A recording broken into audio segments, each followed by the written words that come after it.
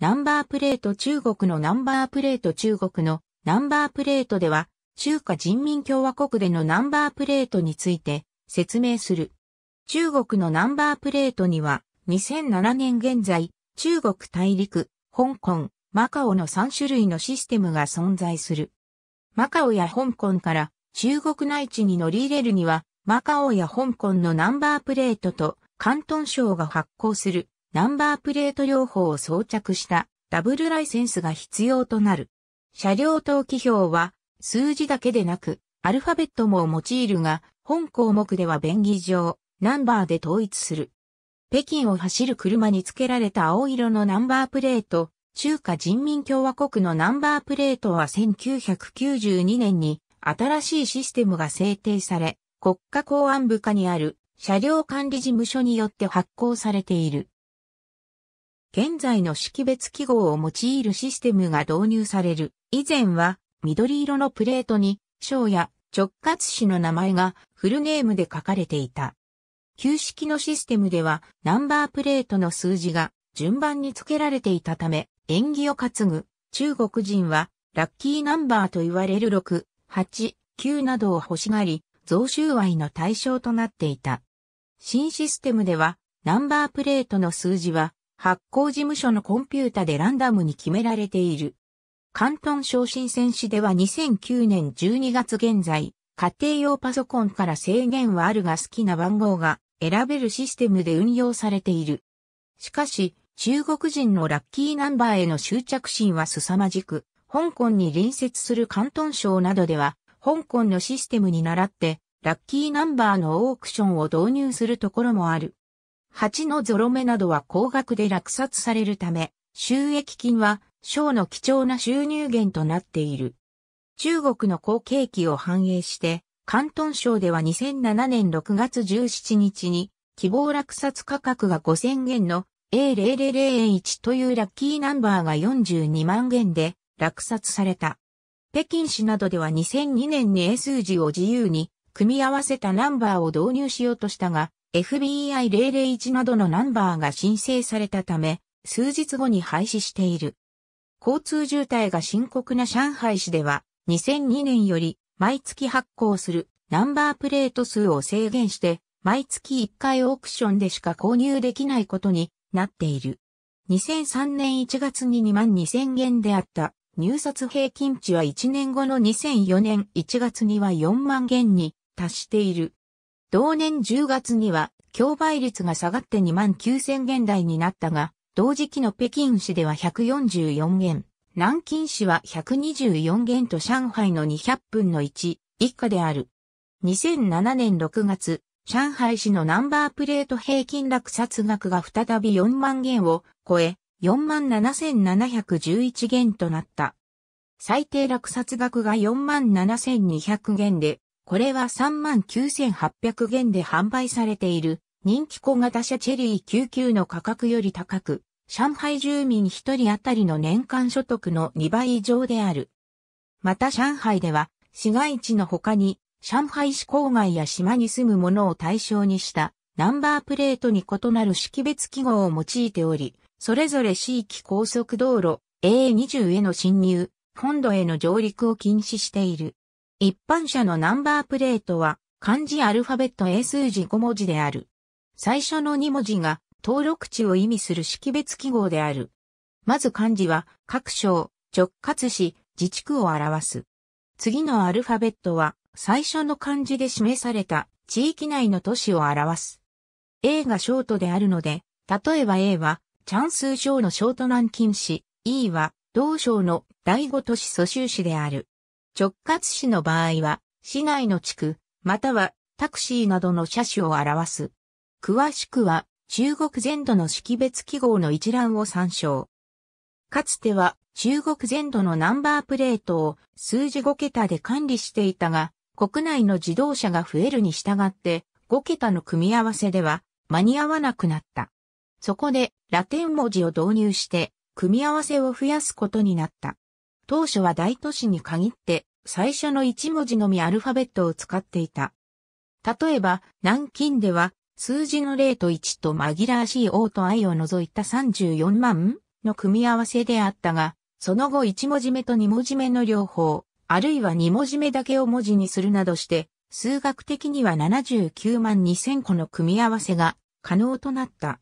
2006年には中国各地で3文字目のみアルファベットで残りを数字にする組み合わせが使用され始めた。識別番号の次に納期の頭文字である NJ を加え、英数字5桁が続き、漢字アルファベット NJ 英数字5文字となる。国旅交渉は農業用に黒 R という記号を与えている。中国の軍隊や警察の車両専用のナンバープレートもあるが、一般市民には入手できない。これらのプレートは白地に赤と黒の文字が書かれている。人民警察人民警察のプレートは交通巡査の車両、パトカー、裁判所や検察の車に発行される。漢字英字1文字英数字1文字数字3桁形という形式になっている。最初の漢字と次のアルファベットは一般車同様、小、直轄し、自治区を表す。3文字目にあたる英数字は警察内部の管轄を表す。3桁の数字が続き、最後に警察を表す K という字が赤字で示される。また、漢字を英数字4桁という一般には用いられない識別番号を用い、K という文字を使用しない警察車両もある。四川省生都市を例に挙げると、生都市を表す識別記号は川 A。続いて公安部一般が例、裁判所関連が A、検察関連が B、国家安全部関連が C、司法関連が D となっている。川 O は赤色はつかないが、警察車両のナンバーであり、生徒市など地名を示すアルファベット、あるいは国家安全部を示す Q が続く。人民武装警察人民武装警察のナンバープレートは97式と呼ばれる WJ 数字2桁から数字、または漢字1桁数字4桁、または WJ 数字2桁から数字5桁という形式である。まず人民武装警察の略称である武警を略した WJ を赤字で頭につけ、次の数字2桁は武警管轄地域を表す識別番号。ハイフンの後に警察部隊を表す数字、または漢字を1文字と数字4桁、あるいはハイフンの後に数字5桁が続く。管轄地域や警察部隊の識別記号については、武警の識別記号一覧を参照のこと。軍用車は以前は、甲乙兵長という実感の赤字表記を用いていた。しかし2004年の再編成を経て、2004式と呼ばれる新システムが2005年1月1日に導入され、さらに統一された形式に変わった。漢字アルファベット英数字5文字、または漢字アルファベット数字2桁英数字3文字である。まず最初の漢字が所属する軍隊や軍区を表し、これが赤字で明記される。次のアルファベットが軍の支部を表している。続く英数字5文字はランダムである場合と、最初の2桁の数字でさらに細かい配属を示し、残り3文字がランダムの場合がある。詳しくは、中国軍の識別記号一覧を参照。大使館のナンバープレート扱い数字3桁数字3桁、領事館は漢字アルファベット数字4桁量である。最初の漢字が大使館、または領事館を表し、次の数字3桁が国家識別番号である。北京市では交通渋滞緩和策の一環として、コンピューターによる自動車のナンバープレートの抽選会を2011年1月26日に実施した。申し込み数は許可される件数のおよそ11倍に上った。香港で使用されているナンバープレートのシステムはイギリス統治下にあった1983年5月31日に施行されたもので材質、色、サイズはもちろん、ナンバーの売買やナンバープレートの自作などイギリスの影響を色濃く受けている。旧システムでは、バスとハイヤーは赤に白地、自家用車は白に黒地、タクシーやトラックは黒に白地であった。新システムは、イギリスのナンバープレートと同じく反射材質を用いたプレートで、車の全部が白地に、黒地で後部が黄色に、黒地に統一され、長さは8から11センチメートル以内となっている。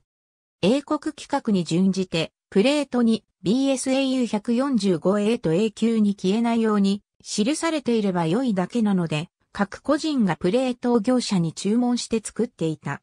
中国へ返還後、ナンバープレートの管理は、香港特別行政区政府運輸所に移行したが、ナンバーの売買やプレートの自作は継続されている。そのため香港のナンバープレートの書体は統一されておらず、プレートの隅にディーラーの名前が入ったものなどがある。最初に発行されたナンバーは無字母という英文字なしの数字だけのものであった。それ以後は総字母というアルファベット2文字が最初につく。まず、HK1 から HK9999 番まで、次に XX1 から XX9999 番までが発行された。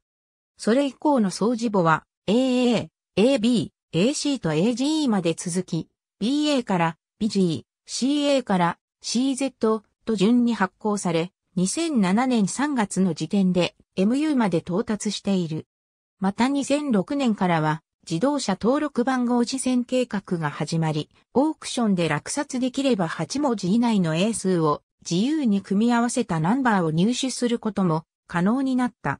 数字は0から始まることはなく、アルファベットは1や0と混同しないよう、I、O、Q は用いられない。総字母には AM、BA、B 回など途中で飛ばされた文字がある。AM は行政機関の略で警察や郵便など政府関係の車両に用いられている。BA が発行されなかったのは AB と混合しやすいためとイギリス陸軍の略称であったためである。BF は下品だとされる英語の表現ブラディフールの略であるため発行されなかったとされる。しかし香港が中国に返還されたため、BA と BF ナンバーは2003年にオークションに出された。また4から始まる4桁の数字もタクシー用に取ってあったが、後にバスやタクシー用の特別番号を撤廃したため、一般向けになった。以前はオートバイ専用のナンバーがあり、数字のみとアルファベット1文字に数字を加えたものが発行されていた。現在は自動車のナンバーシステムに合併されてなくなったが、古いオートバイ向けナンバーも所有者がキャンセルするまで使える。新しく買い替えたオートバイに同じナンバーを移せるため、2007年現在も一部の車とオートバイが同じナンバーを使用している。しかし交通違反などを取り締まる際には、車両モデルも記録するため、間違って同じナンバーの別の車両や持ち主が捕まるというような混乱はない。車のサイズによってナンバーが変わることはないが、ディーラーのテストドライブ車や新車に便宜上つける。ナンバーとして T 数字4桁まで、また連結トラックの後ろ部分やトレーラー部分につける。ナンバーとして数字5桁まで T という形態がある。上記を総合すると、香港の一般人が所有できるナンバーは、無字母、総字母、A 数字を合わせて8桁以内、T プラス1から4桁の数字、1から5桁の数字 T、単字母の6種類が存在する。政府関連のナンバーには、香港特別行政区行政長官ただ一人が使える文字数字なし、長官に次ぐポストにある4名のみが用いる A2 文字のみ、慣用者に使用する単字母や総字母が存在する。なお、香港刑務所所長の専用車は単数字の1が使える。香港ナンバーは車本体ではなく、所有者を対象に発行され、車を買い替えても同じナンバーを使うことができる。一般人が所有するものに一般ナンバーと特殊ナンバーマイナスがあり、運輸所によって分類分けされている。一般ナンバーは誰でも売買可能で、仲介業者も多く存在する。縁起を担ぐ中国人は大米をはたいてでもラッキーナンバーを手に入れたがり、縁起の良いの車両ナンバーは幸運車杯や行為、頭車パイと呼ばれる。また、無地母など珍しい番号もプレミアムナンバーで大変人気がある。香港政府はそれを見越して、あらかじめ人気ナンバーを特殊ナンバーとして分類している特殊ナンバーに変更申請したナンバーは、政府が選別したラッキーナンバーとともにオークションにかけられる。変更申請者は実際にオークションに参加して最低5000香港ドルで入札しなければならない。申請者以外の人間がそのナンバーを落札した場合は、手付金は申請者に返される。一方、運輸省が選出してオークションにかけるラッキーナンバーには申請料や手付金はいらないが、より高い値でも取引が行われる可能性が高いため、政府は最低入札額を通常5000香港ドルより高い値に設定している。このようにオークションに出品される特殊ナンバーには、政府主導と民間申請の2種類がある。オークションは新しいナンバープレートシステムが導入される以前の1973年から行われている。2007年現在、オークションは月に約2回、通常土曜日、稀に日曜日に行われる。中国語ではなく、広東語が使われる。事前に中国語の通訳を申し込むことができる。落札ナンバーを付ける車は、落札者がすでに所有しているもの、オークション後に他人から中古で購入したもの、オークション後に購入した新車いずれのケースでも構わないが、オークションの日から1年以内に付けなければ、ナンバー所有権を失うことになる。オークションを通して入手した特殊ナンバーは、落札者本人の車であるなら他の車に移す。ことができるが、他人名義の車には使用できない。特殊ナンバーの車を他人に販売したり、譲渡することは許されない。特殊ナンバーの所有者が亡くなった場合も、所有権を相続人に譲ることはできない。そのため、オークションでは、誰の名前で特殊ナンバーを購入するかを考慮すべきである。個人でなく、有限会社として落札すれば、会社の配当物となり一個人に縛られず、実質的に譲渡可能な状態となるため得策であると言われている。香港では、広東語で、商売繁盛、不老長寿などを意味する言葉と同じ発音になる数字、語呂合わせなどが好まれる。最もよく知られている、ラッキーナンバーは、発材の発と同じ発音になる8である。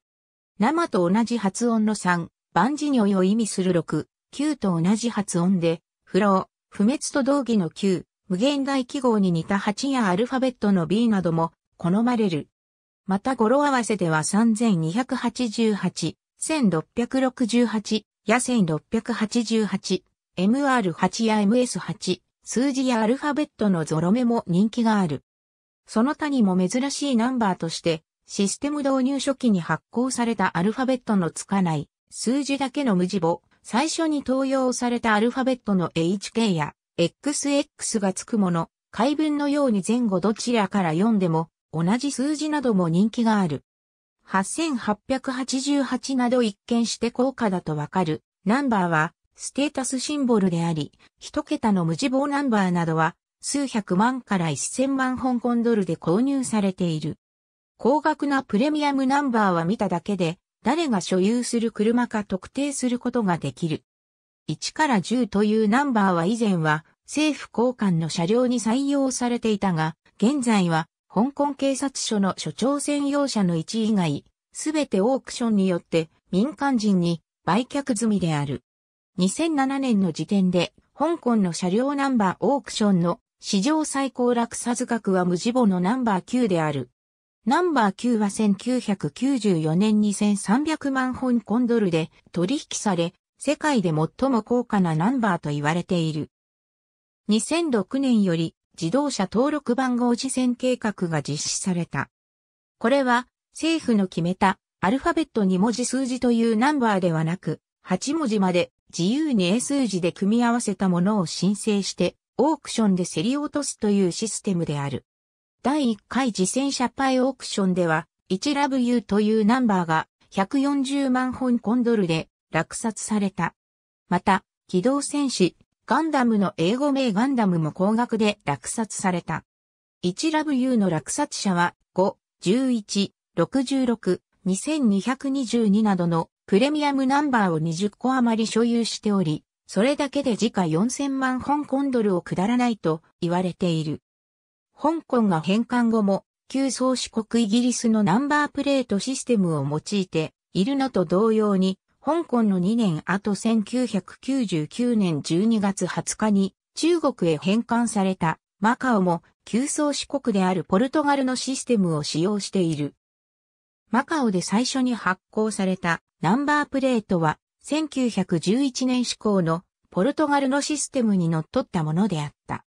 1950年代から1960年代にかけてポルトガルは1937年改訂版システムである地域コード数字2桁から数字2桁という表示を当時のポルトガル植民地にも導入した。プレートは黒字に白い文字である。植民地のナンバーはすべてアルファベット1文字から3文字でなる植民地コードで始まる。ギニアビサウ、サントメプリンシペ、東ティモールとなる。高面積の場合は植民地コードの次にアルファベットの地域コードを加え、アンゴラ、モザンビーク、カーボベルデ、ポルトガル領インド、その後に数字2桁から数字2桁が続く。マカオの植民地コードは M で、比較的面積が狭いため地域コードはないが、登録される車の台数が多いためアルファベット1文字を加え、M アルファベット1文字数字2桁から数字2桁という形になっている。MA から始まりメガバイト、MC と登録ナンバーを増やしていけるようになっている。1990年代からは文字と数字の間のハイフンがない。マカオをはじめサントメプリンシペ、アンゴラ、モザンビーク、カーボベルでは、ポルトガルの統治下ではなくなった21世紀初頭現在も多少の変更を加えているが、ポルトガルのシステムを継続して使っている。AB ロイター2007年6月20日、上海のナンバープレート取得費用、小型車の価格上回る茨城県上海事務所、上海経済データ、上海のナンバープレート3、2004その2茨城県、上海事務所上海経済データ、自家用車、ナンバープレートの推移9、2004ハット W、ZH、中国大陸記者パイ、公ウィキペディア中国語2007年2月24日5時18分、アトック版。キこれや https コロンスラッシュスラッシュ chejiahao.autohome.com cn info 266万3481十海上新能源パイテラシ宮古優佐警視ナンバープレートで初の抽選競争率11倍渋滞緩和作ブルームバーグ2011年1月26日香港なんでも検証、同、香港のナンバープレートで、こんな遭遇香港特別行政区政府運輸所、ガイダンスノーツ、オークションオブビヒクルレジストレーションマークスハット、ガベックビヒクルレジストレーションエグザミネーション、ハットライセンスプレーツオブザワールド。ありがとうございます。